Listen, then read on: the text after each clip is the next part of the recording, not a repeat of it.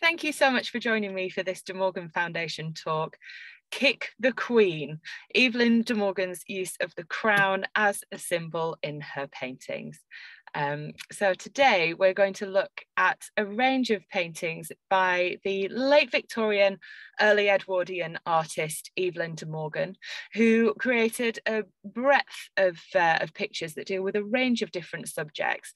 But something that I'd noticed recently, whilst we've been thinking uh, a lot about monarchy on the event of the Platinum Jubilee last weekend, is um, one symbol in particular that De Morgan focuses on quite a lot is the crown and she uses the crown in a number of her paintings um, throughout her career which spanned from about 1873 to her death in 1919 and so we're going to have a look at what is meant by this how and why she used uh, the symbol of the crown in her paintings and how we can better understand her views on some issues or uh, uh, some, some things that she engaged with, such as her spiritualism, her wealth uh, and materialism, her own wealth and materialism, and um, indeed her views on that, and her socialism as well. So, quite a lot to get through today.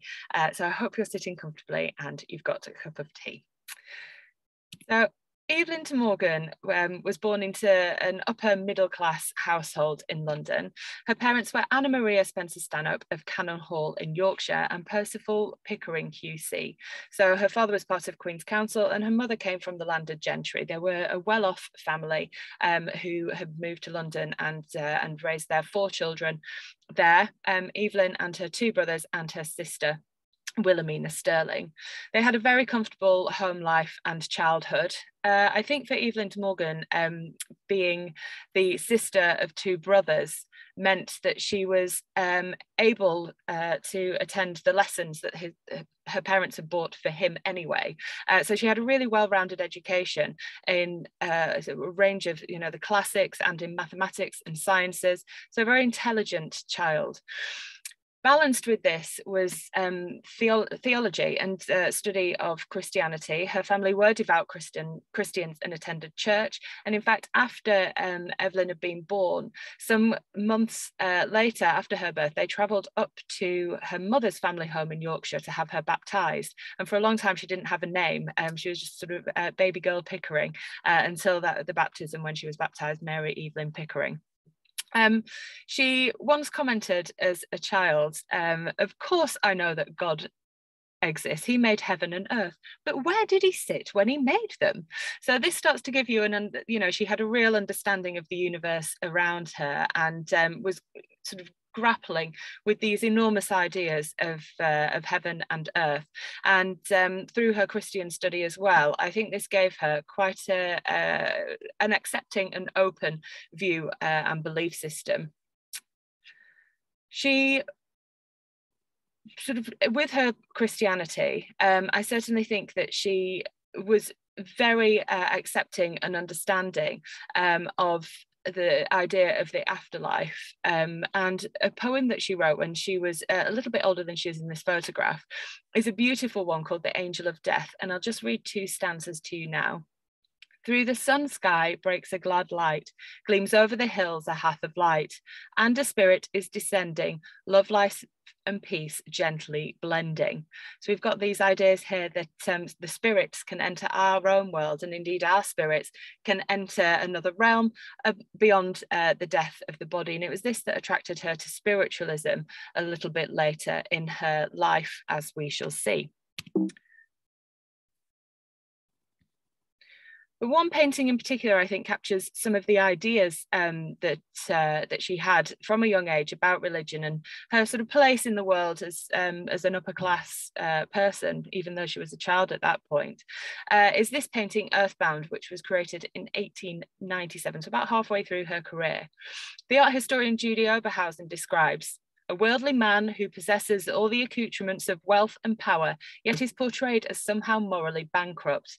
And indeed, there we see a very wealthy man in a beautiful gold shining robe with coins that make up the pattern uh, there, so obsessed with his own wealth that he hasn't noticed the angel of death approaching him, or indeed spirits of the departed who are spiritually engaged flying off into, uh, into the spirit realm. What I think is particularly interesting about um, this painting is that it it almost visualizes uh, another poem or a story this time that De Morgan wrote again as a young as a young child, a young adult. When she was about 13 years old, um, she wrote her own play, which was entitled The Love of Money is the Root of All Evil, a tragedy in five acts. Sadly, she never finished the project. She only got about halfway through Act One in the notebook that it's written down in in her own handwriting. But what Act One does is set the scene of a lonely count at the end of his years sitting in a castle. Near the front of, she says, near, sitting near the front of the stage, he is an old shriveled man whose hair and beard are white and tangled. And this description, I think, really matches the miser that we see in Earthbound. Um, the count in the story is sort of lamenting that his daughter is going to marry someone as poor as a church mouse rather than pursuing um, a life of wealth. So we see in this play and in the later painting that De Morgan's really grappling, grappling with what's important. Is it material wealth or is it a spiritual happiness that can only be found once someone looks beyond that wealth? And uh, of course, with the theme that we're talking about today, it won't have escaped anyone's attention that um, the chap we see here has a crown on his head so in the story he was a count and in um, this painting he can be read as a king uh, and so this idea that uh, you know the kingship and the power with that um, comes this this sort of material wealth and the idea is that that shouldn't blindside someone from their own spirituality as well if you look very closely at the image on the screen you'll see the crown that he wears is um, one that has a serpent curled up on top of it so a, a brilliant detail and um, with all of de morgan's paintings you know it's worth looking for those tiny tiny details that she puts into them. And in this serpent, I think she's giving us a hint of hope. Yes, he might be obsessed with his material wealth now, and even though he's right at the end of his life on the cliff edge before he falls into the waters of Elysium, actually, there's still hope that just as the snake transforms and sheds its skin, this man could still change his ways and look up and uh, and become involved in um, in spirituality and really get into that that very Christian way of uh, worshipping um, in order to access his own spirituality. So I think that's a lovely uh, painting to start with, painting from mid-career and uh, a play from um, De Morgan's early childhood and, uh, and think about how she was engaging in some of these big ideas um, from a very, very early age. Here we see her at the age of about 20. And um, I think it's fair to say that about this time, we see that even though she's been grappling with her position as sort of Orthodox Christian and as wealthy middle class woman that she was growing up to be, she was actually quite uncomfortable um, with, with certainly the wealth uh, and the class side of, um, side of her upbringing. She'd been born into privilege, but remember, she turned her back on the res- uh, respectful.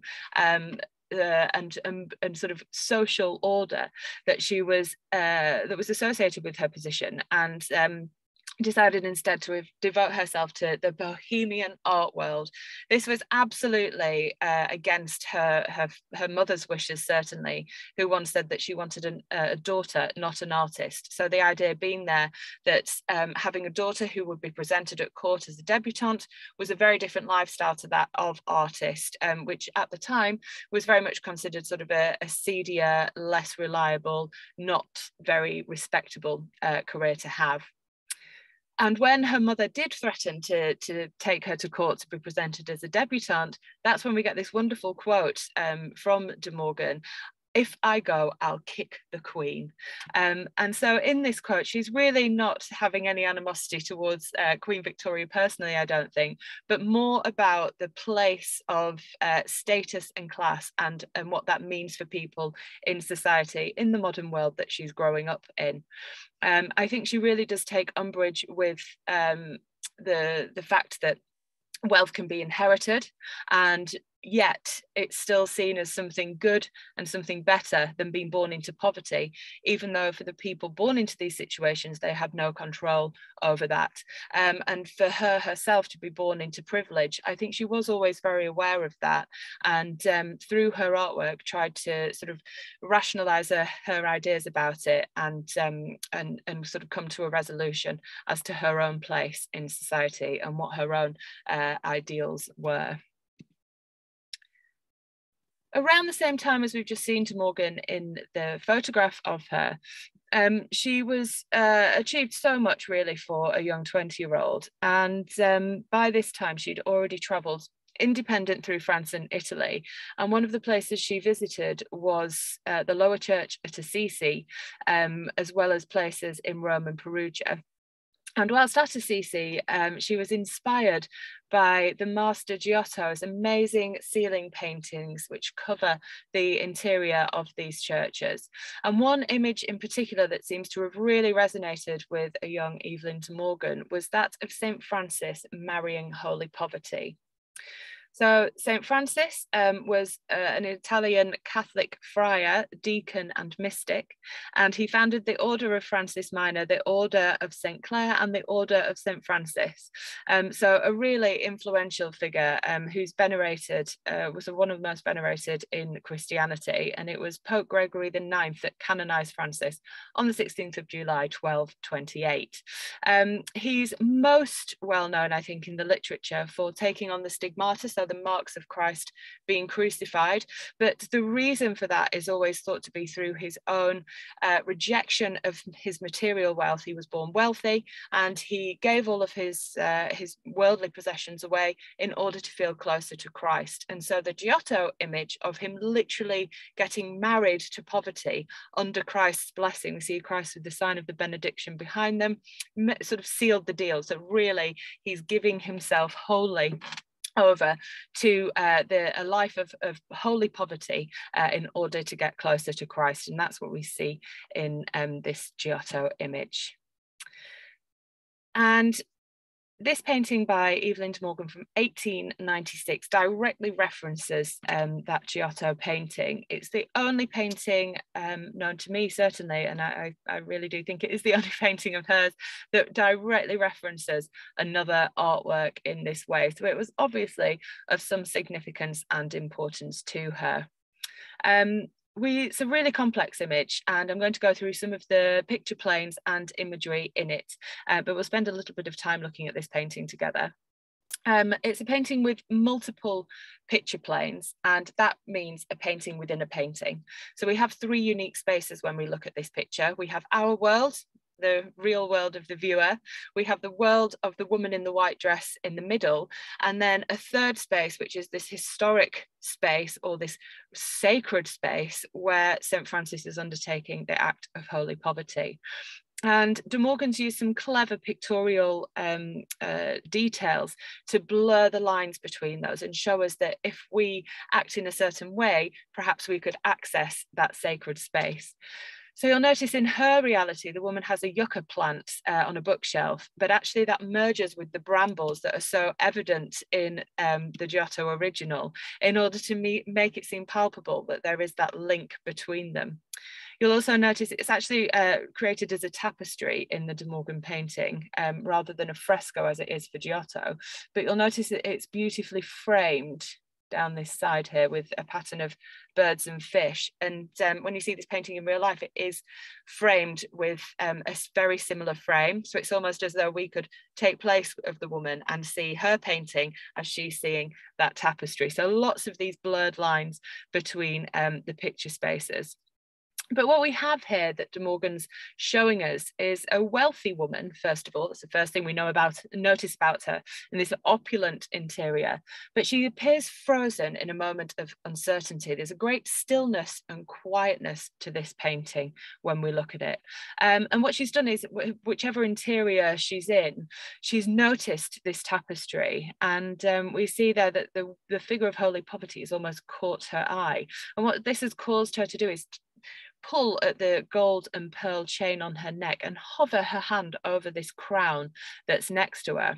Um, Elise Lawton Smith, the art historian, uh, pays attention to this picture and um, she makes, makes a lovely point about it that this woman is caught between two realms, the material and the spiritual. And she picks out the mermaids on the bookcase as being uh, mirroring that as they're caught between the land and the sea.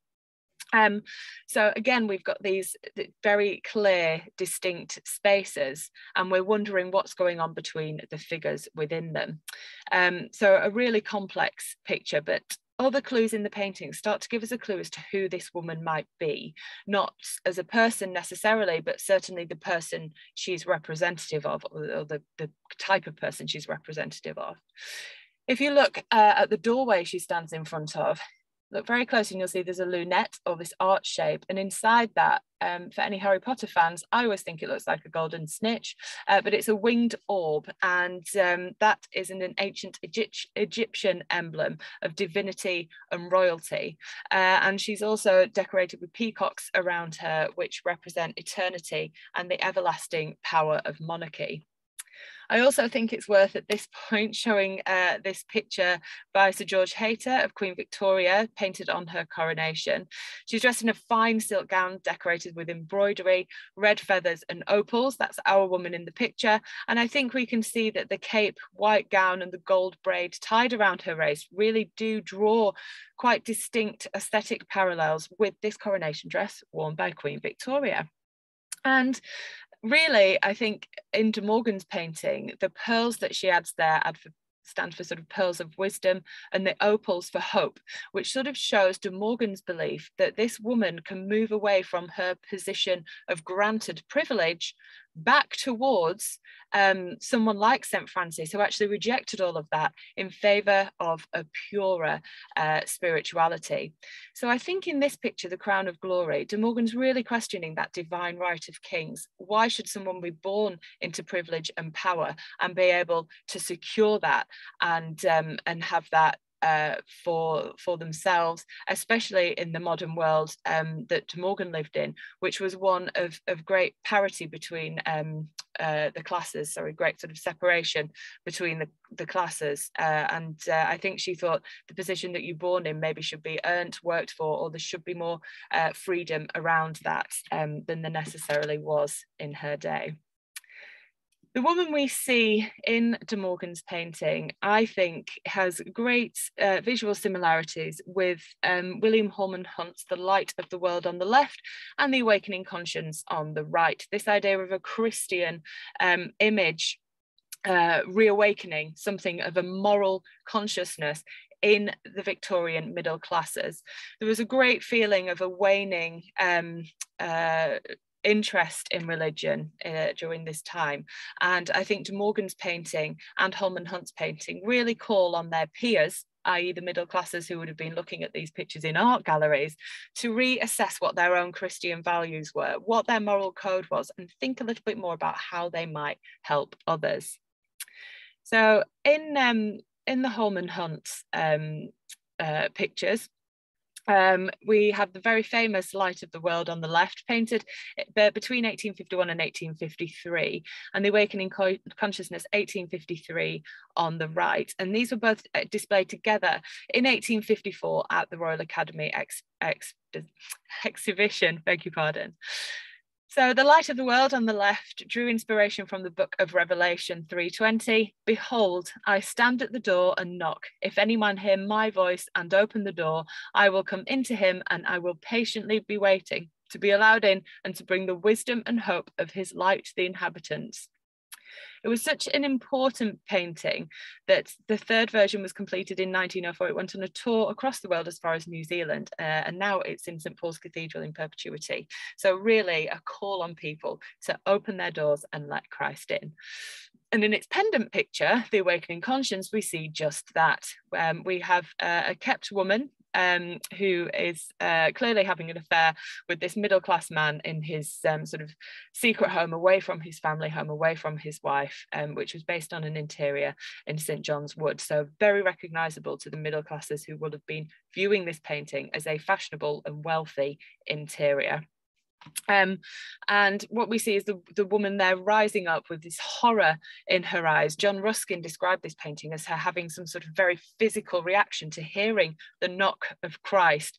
And suddenly she rises up and looks out of the window ahead of her as though to change her ways and really um, start living in a morally good way. And uh, I think when we see um, De Morgan's painting, we see that uh, there are actually phoenixes on top of the staircase behind her, which hints that if she turns away from her life of wealth, turns towards St. Francis, she can climb up those stairs and be transformed just as the phoenixes were um, at, uh, at the top of the staircase there.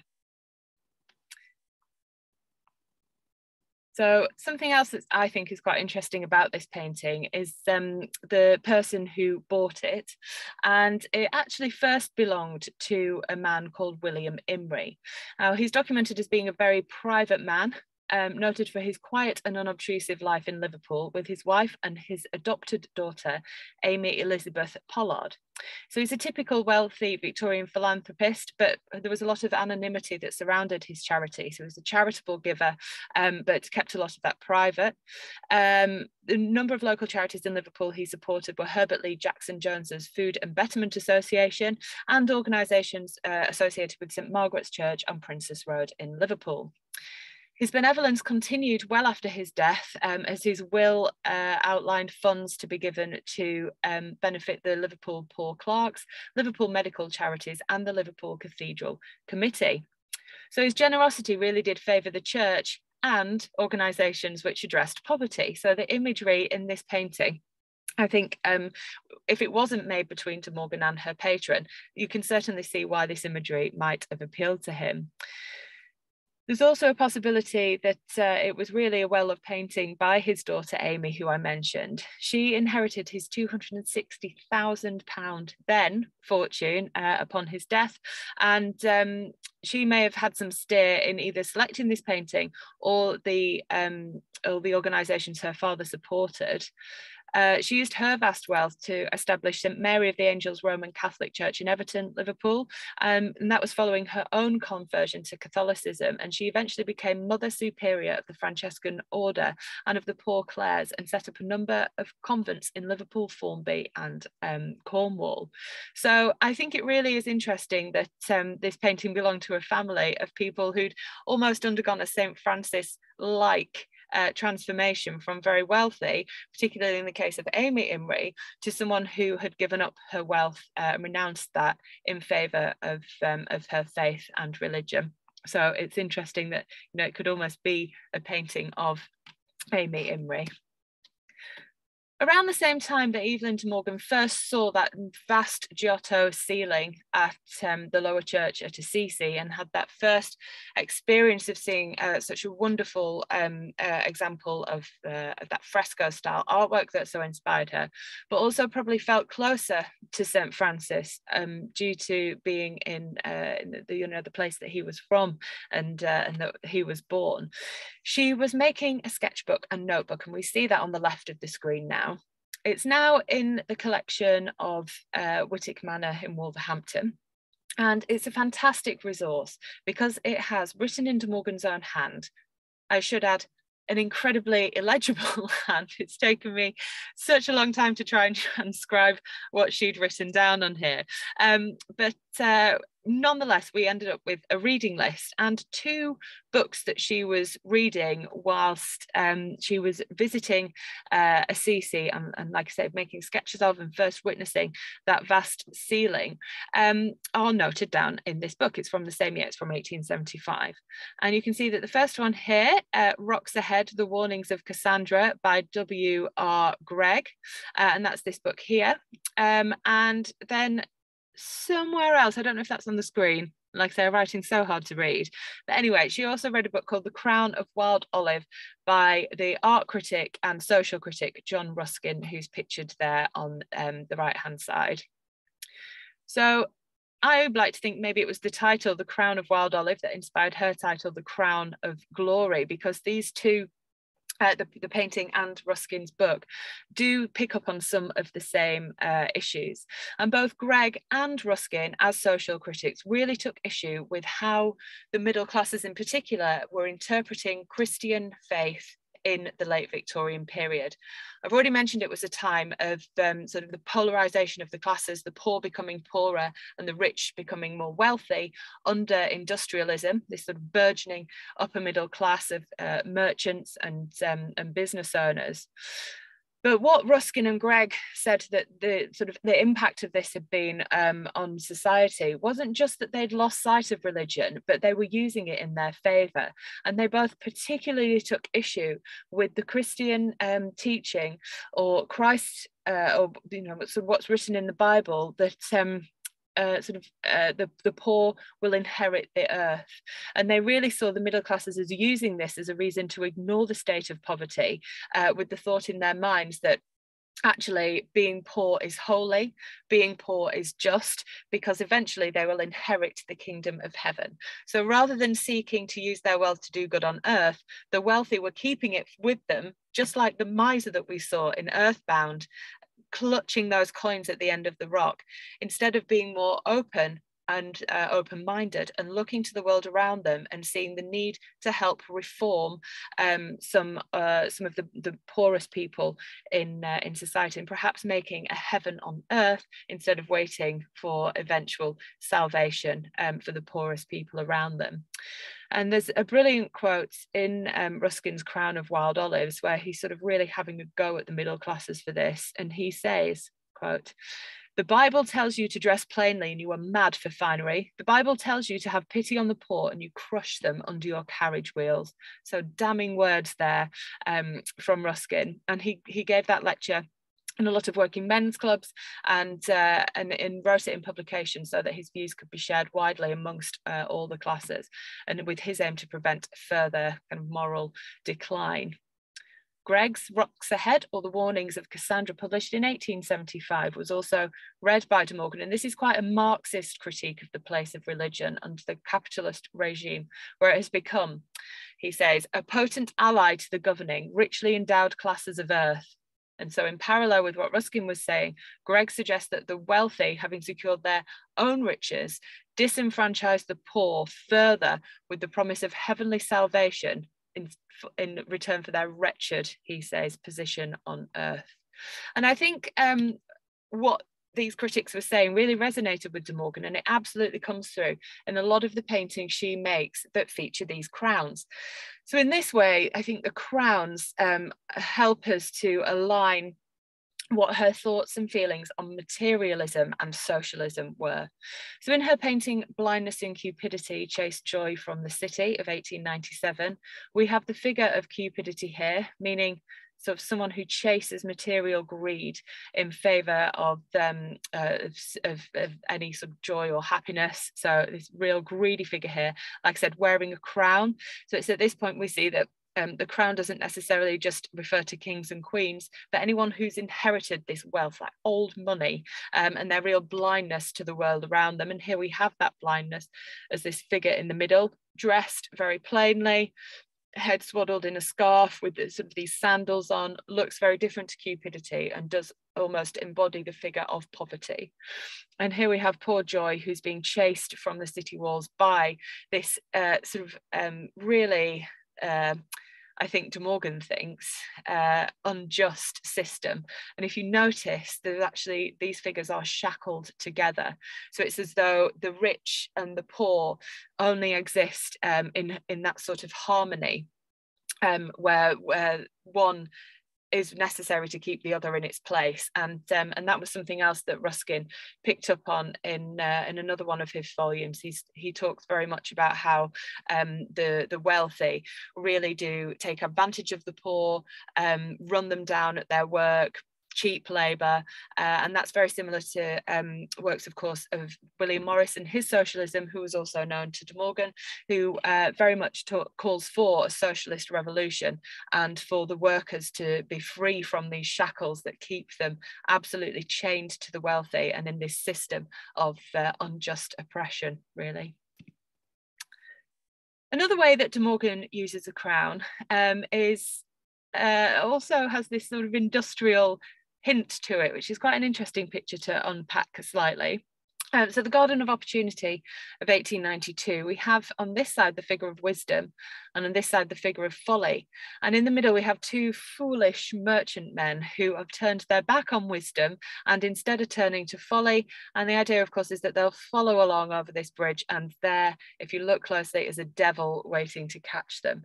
Um, so De Morgan saying here, do not turn your back on uh, wisdom uh, in favour of folly.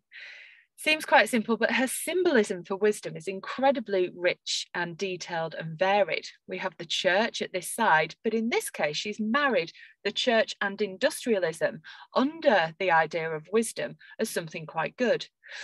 Other motifs um, sort of uh, reinforce this. We've got the wise owl on the bench and the cornucopia that's full and blooming and, and brimming over in a world where the church and industry sit side by side and are considered wisdom, learned knowledge. However, what's on the floor and what's being discarded by wisdom is once again these earthly wealth uh, and material symbols, and they include a crown.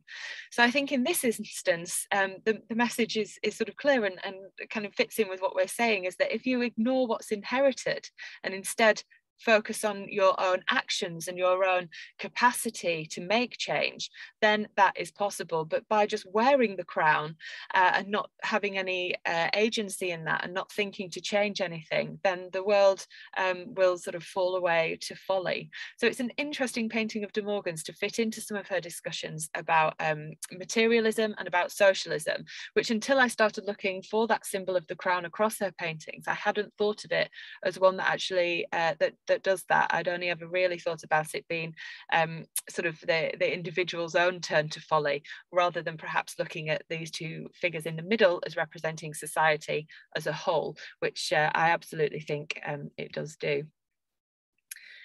This painting, The Kingdom of Heaven Suffereth Violence and the Violent Take It by Force, uh, has two crowns in it. Um, so uh, you might have to look carefully, but we've got the central figure here who's wearing a golden crown, very similar to the crowns we've just seen in the Garden of Opportunity and on the head of our figure of Cupidity. But if you look further up the picture here, you'll see a second figure with a second crown, but she is wearing the crown of thorns, of course, from the time of Christ's crucifixion. Um, and I think this is an excellent picture to consider what those two motifs of two very different crowns might have meant for De Morgan. And to my mind, it really shows how she blended Christian and spiritualist thinking in her own practice, but also imagery in her paintings to support that. So De Morgan's Christian mode of thinking and engagement with ma the material and the spiritual world seemed to have been a committed one. She was a regular attender of church uh, to church with her father in her adolescence and into her adulthood. And I think that her um, her upbringing, which we saw at the start, uh, really allowed her to engage with uh, the sort of feeling at the turn of the 19th century that some critics have dubbed the Victorian crisis of faith. And we saw that with Ruskin and Greg as well, this kind of questioning of what it meant to have either a spiritual belief or to uh, employ Christianity into your life and, and how people acted around that. A critic, William Michael Rossetti, brother of the pre-Raphaelite artist Dante Gabriel Rossetti, that I think many of you will heard of, was another uh, critic of the time, and he saw religion as, quote, more a matter of conduct and of the inner life than a thing of express than a thing expressible in a formula or proposition. So it seems here that um, I think for William Michael Rossetti, he was saying that if it's something you have as a true belief, that's far better than anything that's part of sort of the ritual and ceremony of religion. And it was thinkers like this who were some, among some of the first in this country to really accept spiritualism. So, spiritualism is the belief uh, that the human soul outlives the human body and can be contacted by the living after the death of uh, the spirit or soul in question. It gained traction in the 1950s in America as an option which sought empirical proof, proof for the heavenly realm. And through spirit rapping, so spirits knocking out messages, and through um, seances, it became very popular. And the Rossettis, for example, experimented with seances regularly a lot through um, Dante Gabriel Rossetti trying to contact his departed wife, the artist Elizabeth Siddal, um, and uh, Georgina Houghton, another artist, developed skills as a medium after attending a seance. Evelyn de Morgan was really introduced to spiritualism through her marriage to her husband, William de Morgan. When he was growing up in his teenage years, his parents, Sophia de Morgan and Augustus de Morgan, lived with a spiritualist medium for six years. She lived in their home with them, and William de Morgan was still at home at that time. He was at school.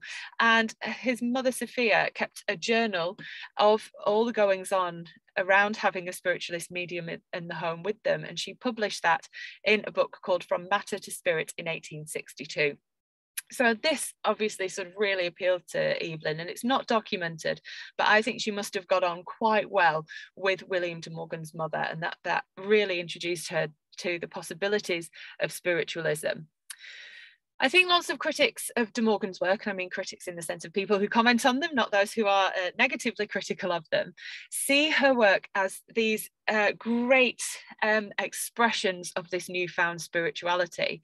But for me, um, I think what it did was just reinforce uh, the, the bits of Christianity that she liked the fact that you had to do away with materialism to access and be closer to heaven. We know that De Morgan was very charitable, giving lots of her paintings to charity, particularly leaving a collection of her artworks um, for the benefit of a charity called St Dunstan's Hospital for Blinded Soldiers. Um, and also, I think, uh, actually, if you look very closely at her paintings, she uses that Christian and uh, spiritualist imagery side by side. And I think from this we can read that actually she was one of the people who um, um, didn't see spiritualism as an alternative to Christianity in the late 19th century, but actually she was very comfortable in viewing these as complementary belief systems, almost like the spiritualism was empirical evidence for the proof of uh, a heavenly realm or something that exists beyond our lives here on earth. Um, one uh, a commenter on De Morgan's artwork has said that um, she suffered a disillusionment with Christianity. But I think in this painting, when we see the crown of thorns uh, as a key symbol, we have to accept that actually she probably was one of the people that the Reverend Dr. Ailill Le Payne has said saw the two, Christianity and spiritualism, as complementary belief systems rather than having a sort of a great chasm between them. Now, to my mind, um, sort of to understand this painting properly, and I will get onto an explanation of it shortly, um, we have to understand the art historical references that De Morgan's making. And there's absolutely no doubt in my mind, and I'm sure there won't be in yours, that this painting is absolutely based on um, imagery of the ascension. So Christ rising up into heaven after his resurrection, after the Easter period. So if you know the Easter story of Christ um, being crucified, on the third day he was risen. And then depending on which um, chapter of the Bible you look at and read, he eventually ascended uh, to sit on the right hand of the Father. And here we see this upward spiral of figures from a craggy green, blue, grey bottom to this beautiful um, sort of uh, image uh, of the heavenly realm made through rainbow swirls and all these angels spiraling off uh, into this sort of heavenly realm at the top of the picture. Um, so clearly, uh, aesthetically, it reflects uh, ascension imagery. And some of those images I wanted to um, show with you, which are well established in the art historical canon, um, uh, are in particular um, this picture by Dürer. I think this is a really notable one um, because it picks up from what happened in sort of of the medieval period uh, from about the 9th century onwards when um, the sort of Romanesque and Anglo-Saxon artists had depictions of the Ascension, which perhaps look quite comical to us today, but it was either a hand of God coming down and sort of plucking Christ up out of the sky, or these um, feet dangling down from the top of the picture as Christ was being lifted up um, to the heavenly realm. Um, but this Dürer print, as so many of Dürer prints were, really popular again in the Victorian period. So I wonder if this was uh, an image that um, that De Morgan was aware of, these disappearing feet. And I think it's also incredibly important to our discussion today to show the example of um, the ascension by Giotto from the Scrovegni, I think, chapel, um, which is in Padua, and it's another place that De Morgan visited on her 1875 trip to Italy. And here we have uh, this choir of angels and the communion of saints down at the bottom there, all looking at this figure of Christ rising up above them to uh, the heavenly realm. So very clear um, uh, comparisons here with um, that uh, that De Morgan painting that we looked at that we looked at.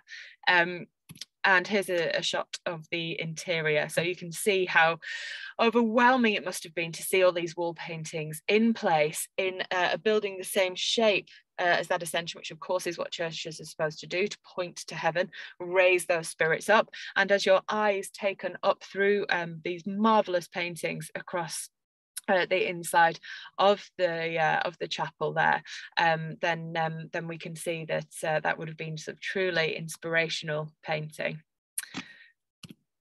Thirdly, uh, I'd like to introduce a painting by Peter Paul Rubens, which is from the Banqueting House ceiling.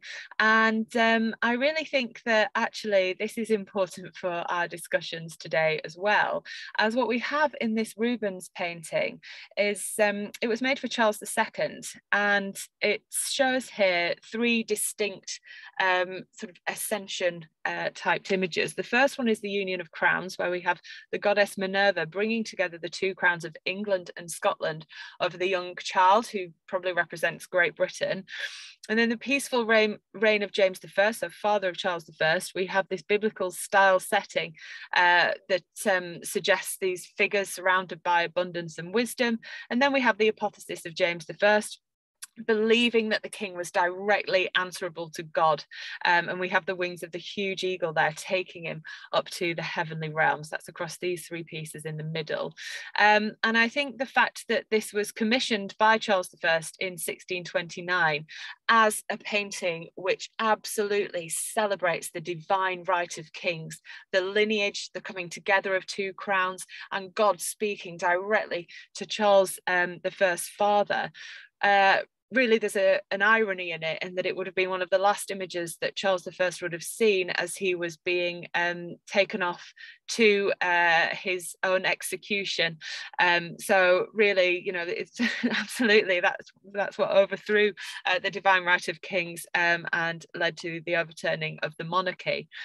But interesting, therefore, that this relied on that same ascension uh, form of painting this idea that these swirling figures could take someone up to the heavenly realm and uh, bridge that gap between heaven and earth was used in such a way. Um, i just thought it was quite a funny one to add really so here we go, we come back to the kingdom of heaven. And like I said, we, we really get a sense of what uh, De Morgan's trying to um, trying to say in this picture here. We've got an ascension towards heaven. And in order to do that, the sort of the damned here, the earthly people, people like us uh, here in our reality are chained to the earthly realm and only through the death of the body, the removal of the gold crown, becoming seeing so taking off a blindfold which this figure here is uh, is wearing removing those shackles can we reach the heavenly realm or get closer to our spiritual destiny. And I think it's very important for us to note that it's not a gold crown that will get you there, but a humble crown of thorns, something that was worn by Christ himself as he went through the horrific uh, crucifixion um, in order to uh, be true to the word of God. And that's what De Morgan's saying here is that this spirituality, any belief that you have in the ascension of the human soul, can absolutely align with your Christian faith. And actually, it's through action action like charitable giving that will get rid of your gold crown and give you this uh, crown of thorns like Christ, and only then can you ascend to the realm of heaven, this heavenly realm. Another source of inspiration, I think, for De Morgan's painting was possibly Sandro Botticelli's The Mystic Nativity of around 1500, and that's in the National Gallery's collection. Here we see uh, the nativity scenes. We've got an infant child there reaching up towards the Virgin Mary in this stable. Um, and uh, there's a Greek inscription on it which mentions the troubles of Italy, which reference an invasion of the French who took Naples in 1494. Um, so the unrest that's going on there um, really has, uh, uh, it was a period of upheaval and the picture um, picks up on this idea that uh, the world was going to end and only Christ's return would the devil be buried. And the devil is indeed being buried down here at the bottom of the picture, as we have a heavenly realm up at the top uh, of the painting here. And so, in that way, it's very similar to this sort of demonic, quite terrifying um, action at the bottom of De Morgan's painting versus this beautiful, heavenly, more calm realm of music and joy at the top of her picture there. Now, I said I'd only recently started looking at De Morgan's crowns and her queens as well, and that was on the event of the Platinum Jubilee. It's always nice to be thematic, um, but that's actually really helped me to understand one of De Morgan's pictures. It's the final one I'll talk about today, Queen Eleanor and Fair Rosamond. Um, in it, we have the wife of Henry II, um, who is come in through a maze and discovered the king's mistress, Rosamond, here on the right hand side. And what she has in her hand is uh, a vial of poison. So her intentions are to kill um, the innocent Rosamond there. And I think I've always struggled with understanding this into Morgan's own um, because it's two women and she was such a feminist artist that I think, well, why would she want to show this scene of animosity between two women, which be, has been caused by a man that isn't even in the picture, he's not even there held accountable, this having these affairs. Um, but actually, looking at what De Morgan thought about um, absolute monarchy has really helped me to engage with them with this picture. So some of my previous thoughts on it were that it was De Morgan picking up on uh, uh, British or English legends and history, as so many of her male counterparts did in their artwork.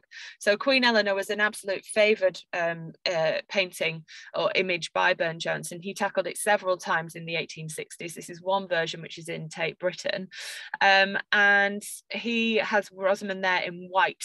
In other versions, she's in red. So I think this helps us understand how the artists were trying to pin the blame on either of these two women for the affair and for the eventual actual murder of um, of Rosamond by Eleanor. In this sense, of course, she's wearing white, which suggests that she's completely innocent.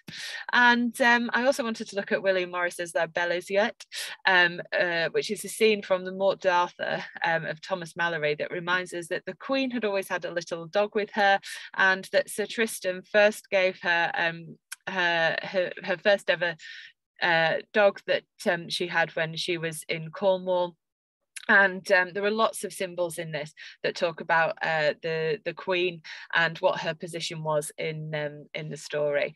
Uh, so it's lovely to see an actual uh, an oil painting by William Morris. It's the only known one but I think that the Evelyn de Morgan painting goes further than this. Um, and I think what we've learned today can help us unpick that a little bit. Uh, whilst we do have Queen Eleanor, of course, on the left and Rosamond on the right, actually, if we look at the colour of the robes, Rosamond's wearing red for love, lust, and danger.